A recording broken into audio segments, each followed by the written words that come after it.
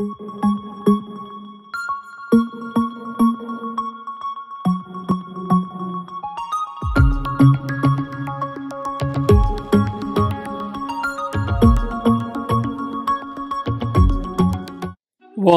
ทับ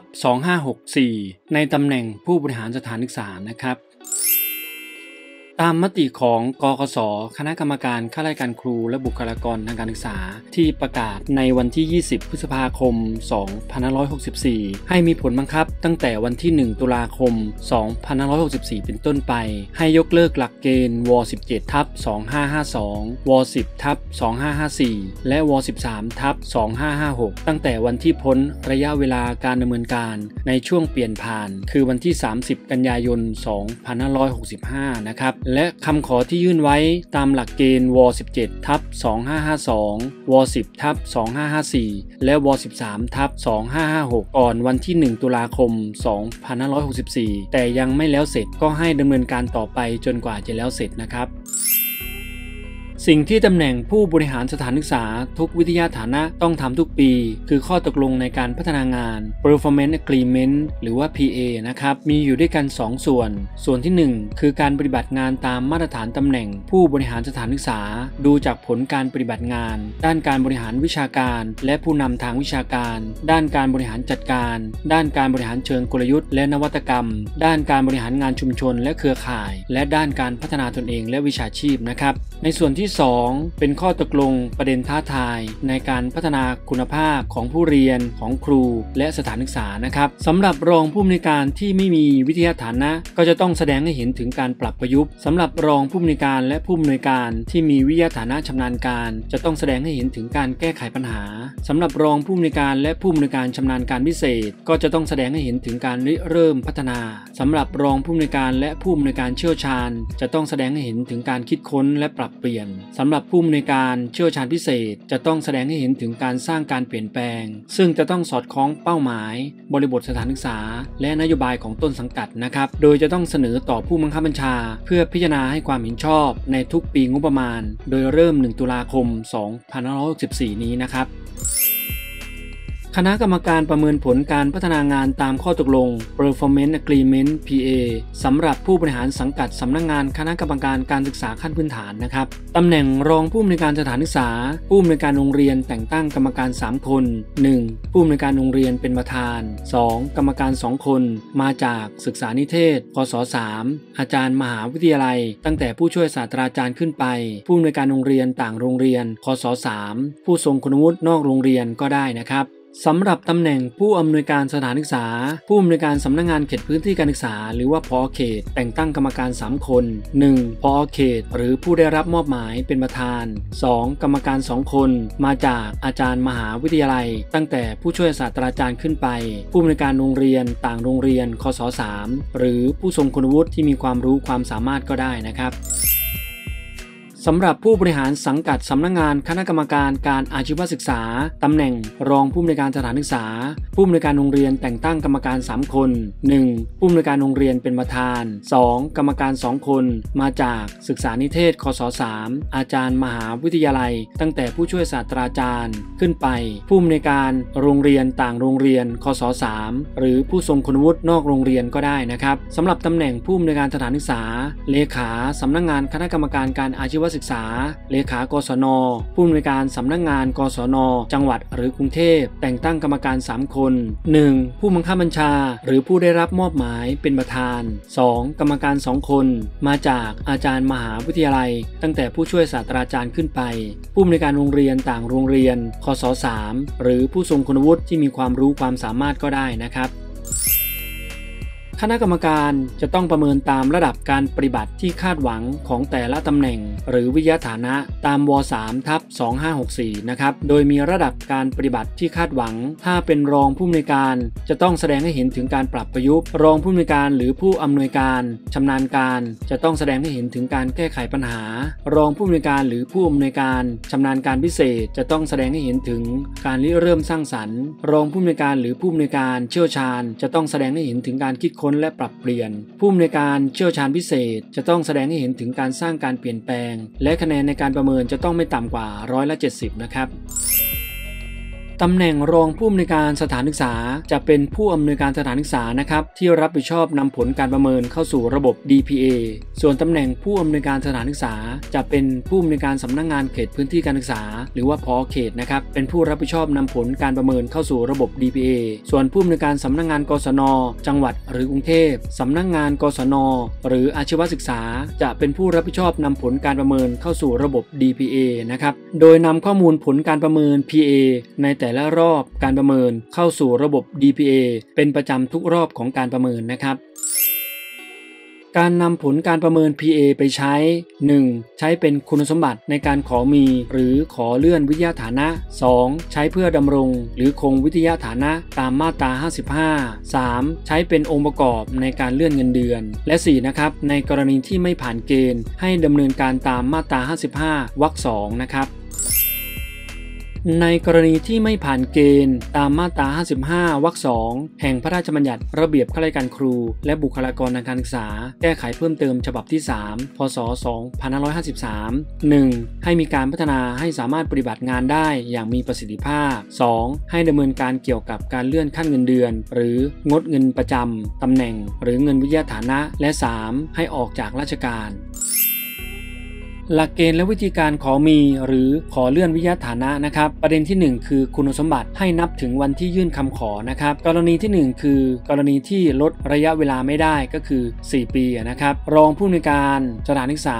รองผู้อำนวยการชำนาญการ รองผู้อำนวยการชำนาญการพิเศษ รองผู้อำนวยการเชี่ยวชาญ ผู้อำนวยการ ผู้อำนวยการเชี่ยวชาญ ผู้อำนวยการชำนาญการพิเศษ ผู้อำนวยการเชี่ยวชาญ และก็ผู้อำนวยการเชี่ยวชาญพิเศษ จะต้องดำรงตำแหน่งวิทยาฐานะเดิมมาแล้ว ไม่น้อยกว่า4 ปี ติดต่อกัน พัฒนางานตามข้อตกลง PA ในตำแหน่งวิทยาฐานะเดิมย้อนหลัง 3 รอบ ผลการประเมินจะต้องไม่ต่ำกว่าร้อยละ70 มีวินัยมีคุณธรรม จริยธรรม และจรรยาบรรณวิชาชีพ ไม่เคยถูกลงโทษทางวินัย ไม่เคยถูกวินิจฉัย ชี้ขาด ทางจรรยาบรรณวิชาชีพ หนักกว่าโทษภาคทัน ย้อนหลัง 4 ปีนะครับ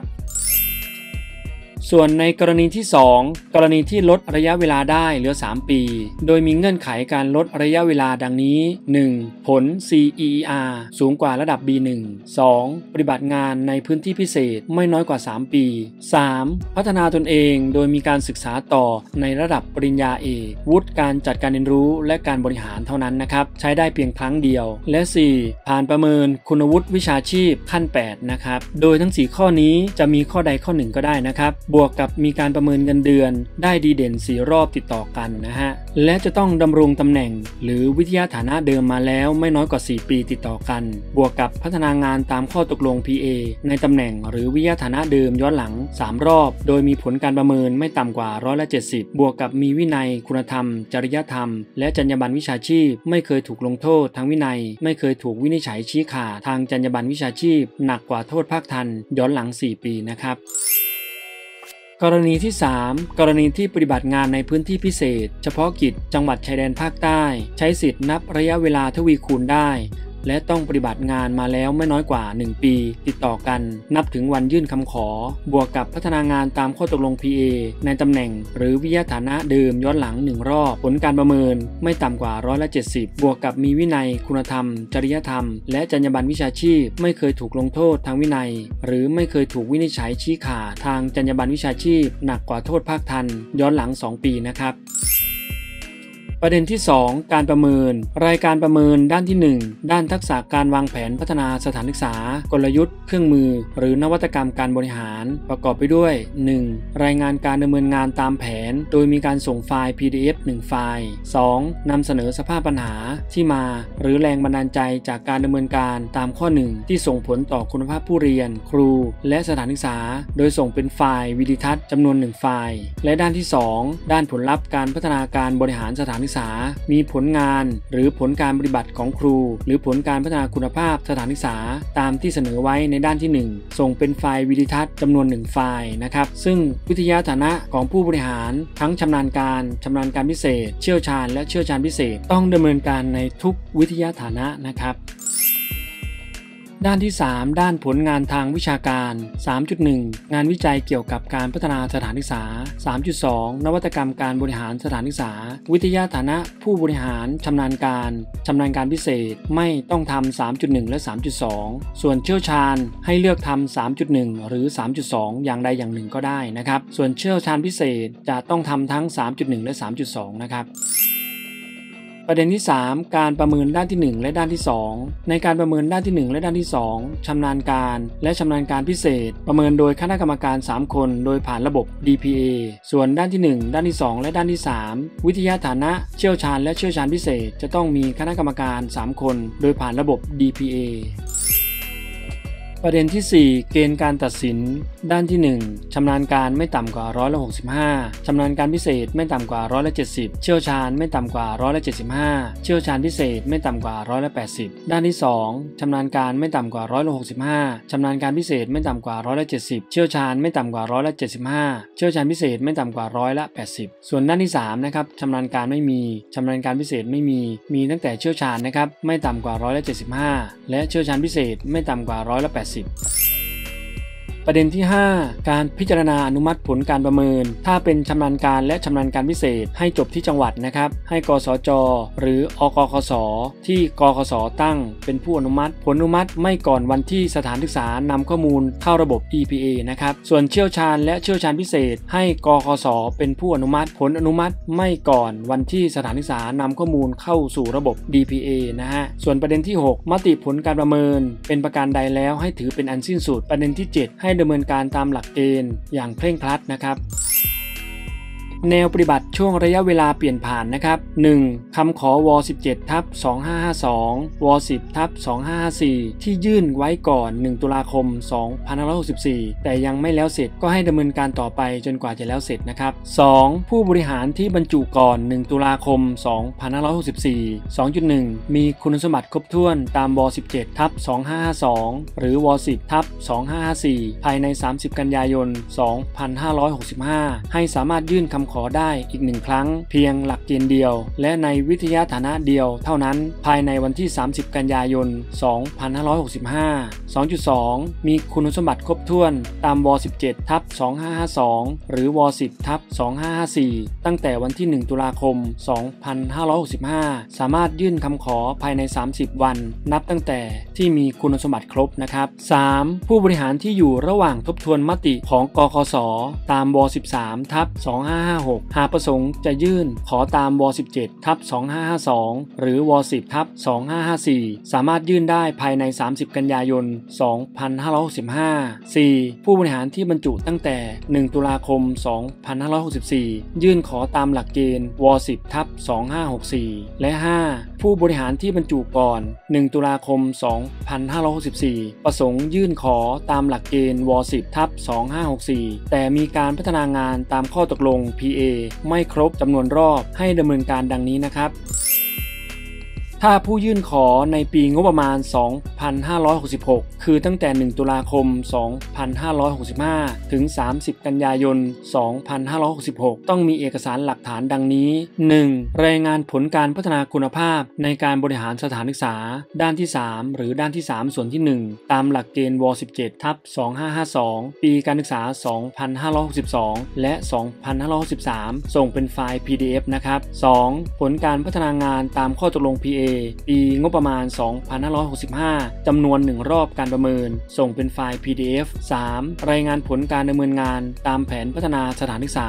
ส่งเป็นไฟล์ PDF 1 ไฟล์ 4. ไฟล์วิดีทัศน์จำนวน 2 ไฟล์ ประกอบด้วย 4.1 วิดีทัศน์นำเสนอการพัฒนาสถานศึกษา ที่เสนอไว้ตามข้อ 3จำนวน 1 ไฟล์ และ 5. ผลงานทางวิชาการเป็นไฟล์ PDF อันนี้จะเฉพาะรองผู้อำนวยการเชี่ยวชาญ ผู้อำนวยการเชี่ยวชาญ และผู้อำนวยการเชี่ยวชาญพิเศษเท่านั้นนะครับ สำหรับผู้ที่จะยื่นขอในปีงบประมาณ 2567 ตั้งแต่ 1 ตุลาคม 2566 ถึง 30 กันยายน